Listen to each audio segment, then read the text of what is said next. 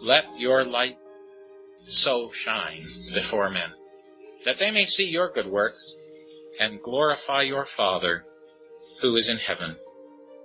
But we have this treasure in earthen vessels. We're just we're just clay pots. You know what a a good vessel is empty. I mean, what is a vessel but just nothing surrounded by something to hold it in, right? That's the that's the advantage of a vessel. If you're solid clay, you're not a vessel. If you want to be a vessel, you, you've got to be empty. And God puts the treasure inside. It's not you. You don't have to worry about like, well, who am I? You're just you're just the container into which God places this wonderful treasure. Now, the treasure he's speaking about here aren't jewels. The treasure is the light.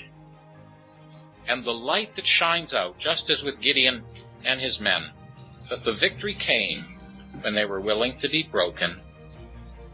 And when they were broken, the light shone out. It's the treasure inside. That's what's important.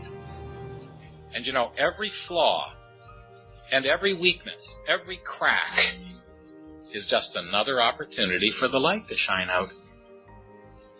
That's exactly it, isn't it? That it's in the area where we're honest with God, we're broken before God, and say, Oh God, I don't know how you could ever use me. I fail all the time. God says, Well, yeah, but I don't fail. My dad and I were at a conference years ago. The subject was the man God uses. We were sitting side by side in a hotel room working away on our notes, and suddenly he stopped writing. And then I stopped writing. And I looked at him, and he looked at me.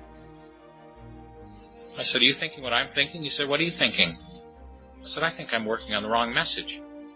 He said, Yeah, I think so too. I said, What are you working on? He said, I'm working on the man God wants to use.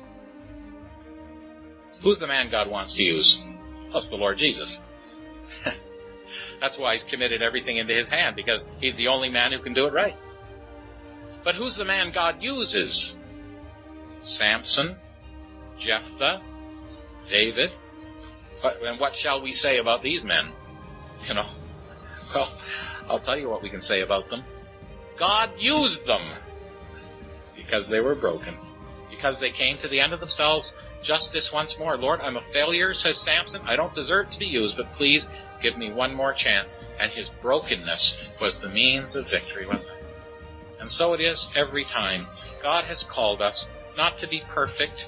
Someday we shall be. The just men made perfect. That's what we're that's what we're going to be someday. But you know, if you wait until you're perfect to evangelize, there won't be anybody to talk to.